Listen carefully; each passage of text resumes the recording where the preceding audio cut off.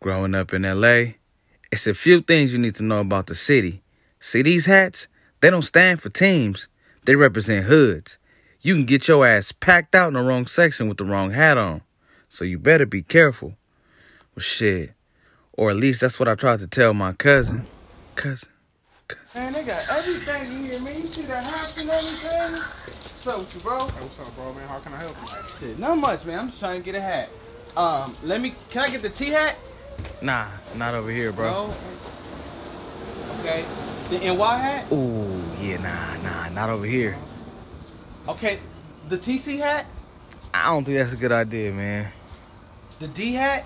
Yeah, you gotta pick another one, cuzzo. That's a hood hat. Okay. Uh, the Houston Astros hat? Yeah, that one will really stand out. So, bro, nah, nah. Okay, what? Yeah, nah, cuzzo. There's some street politics shit. You ain't from out here. You don't know. Then I mean, what about the LA hat then? I mean, yeah, that one cool.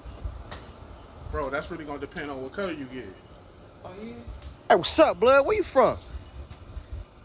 I don't blame my nigga. Hey, cousin, what the? The term is relative, blood.